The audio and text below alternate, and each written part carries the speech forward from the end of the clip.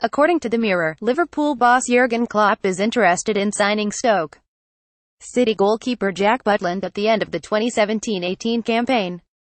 Loris Karius currently has the gloves at Anfield ahead of Simon Mignolet, but it is thought that Klopp will move for a new stopper in this summer's transfer window.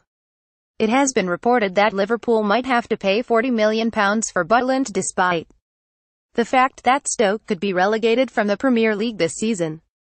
Butland is being tipped to travel with the England squad for the 2018 World Cup, and he has put in a string of impressive performances for the Potters this season. That said, the Liverpool fans are not convinced when it comes to the 25-year-old, who has also been linked with Arsenal. Indeed, many have taken to social media to claim that they do not want Klopp to move for the Englishman at the end of the season. A selection of the Twitter reaction to the transfer reports can be seen below. Alisson for 80 million pounds. No thanks. Butland for 40 million pounds. LMAO. LFC, March 13, 2018 I like Butland, but I don't think he's an upgrade on what we have. Stick with Karius or go big. Can't have the middle ground anymore.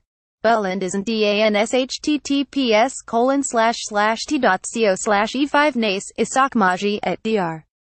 Isak 90, March 13, 2018 New goalkeeper this summer. Jack Butland around 40 pounds or Alisson around 80 pounds to 90 pounds. Question mark. Personally I would like Gianluigi Donnarumma.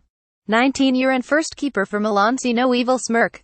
Iron Hadland, at Junior and Hadland, March 13, 2018 I don't want Butland. March 12, 2018 at LFC Please don't buy Butland Thumbs up light skin tone Santino Corleone at Johnny underscore C 1982 March 12, 2018 Butland's absolutely shocking. DILZLFC at DILZLFC March 12, 2018